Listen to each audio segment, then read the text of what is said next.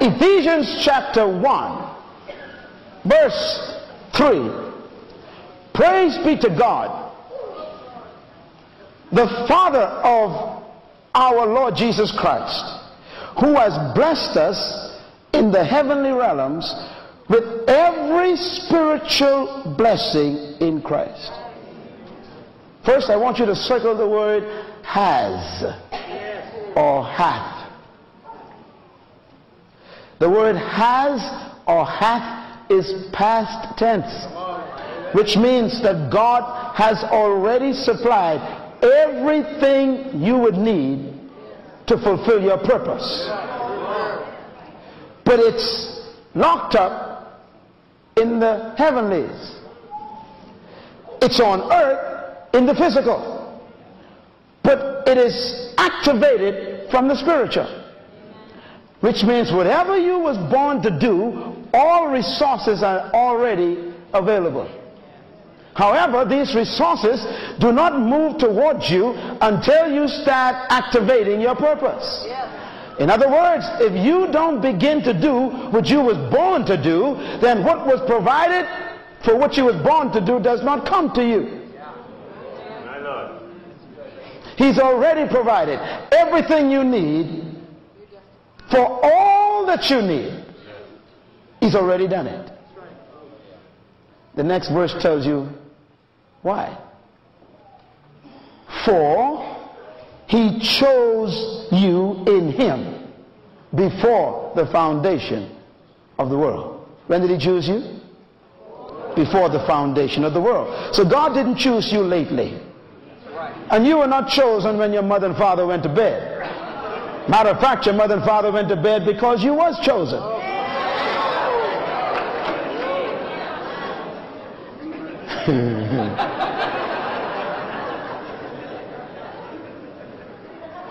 so don't get too uptight about your parents. If they're alcoholics, no problem. Just say, thanks for getting me here. Let me get on with my purpose. Huh? You mightn't know who your daddy is, never knew. Stop worrying about your daddy. He was used by God to get you here. That's all. You got work to do, young man. You got work to do, young woman. Stop regretting your past and start working on your future. He chose you long before your mama knew you. He chose you because he predestined you, verse 5, to be his son. Predestined means he set the destination before he began the journey. He finished you before he began you. He completed everything before he started your life. That means you are not an experiment. You are an adventure. You know, people who discover their purpose in life, they love living. Yes. yes. Or when they wake up in the morning, they can't wait for the sun to rise. When you know why you was born, you hate nights because you don't want to go to sleep. Because you can't wait to get up and get started again. If you are bored, it's because you don't know why you were born. Discover your destination and the journey will be fun. Even the potholes will be experienced on your way to your journey. You will never be discouraged with detours if you know your destination. You didn't hear what I said.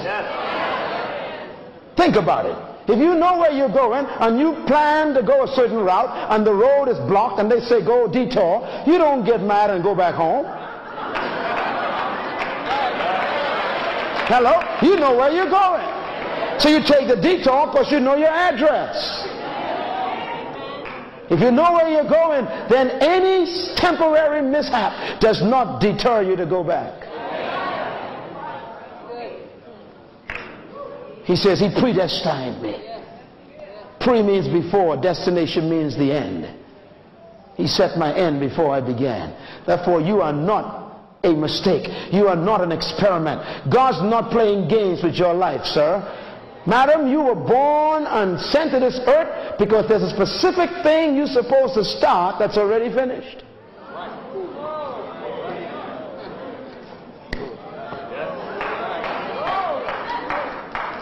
when you see your destination, it's called a vision.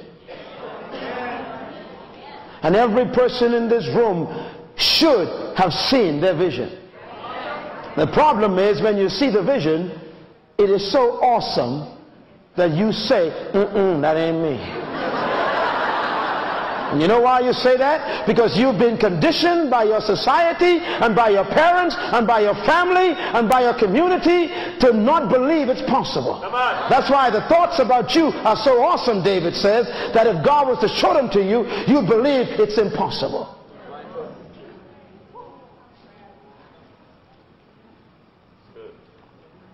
Verse 11. In him you have also been chosen, having been predestined according to what? The plan of the manufacturer who works out how many things? Everything to conform to what? His purpose. He has a purpose for your life and he works out everything to conform to his purpose. Everybody say everything. everything. Say it loud. Everything. Say it louder. Everything. How many things does he work out? Everything. And he works it out to do what? To conform to his purpose for your life. That means whatever he gave you birth to do, no matter what mistakes you made, he'll work them in and make them a testimony. So no matter how many times you fail, the manufacturer never gets upset. He takes your drug addict problem and he says, that's all right. And he makes it conform to his purpose, puts you back in your purpose, and he says, we'll use it as a testimony.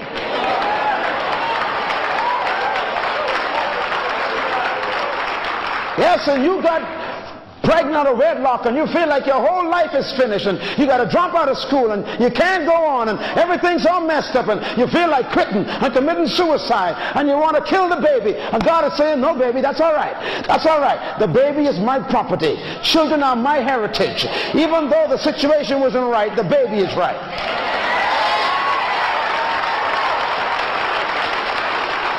He says, now I want you to come and bring the baby with you. I'm going to put you back in my purpose for your life, and I'm going to use the baby as a testimony so I can show people that I can make an illegitimate child a legal leader. That's what God does. Woo! That's what God does.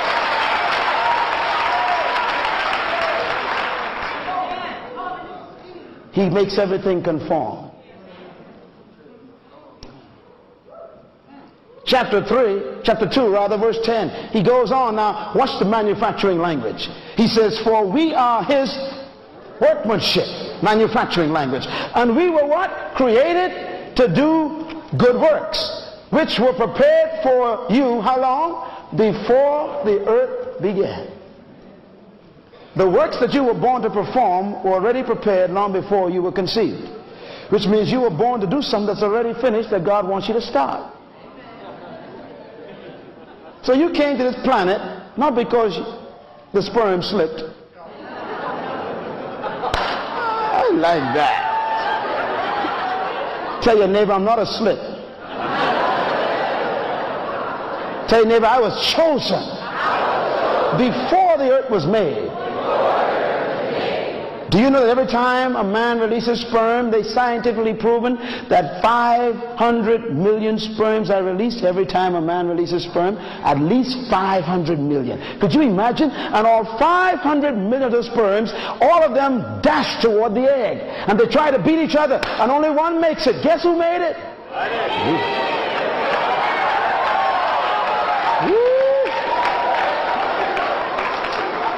That means there were 500 million of them, and God was watching them. And God says, I want mm, that one. Guess who that was? Oh, yeah, that was me. Hallelujah. Oh, come on and praise Him. Come on and praise Him. Not a mistake. Not a mistake. Not a mistake. Tell your neighbor, Luther Vandross says one in a million. But he never met me before, you see. I am one in 500 million. Clap your hand if you understand how important you are.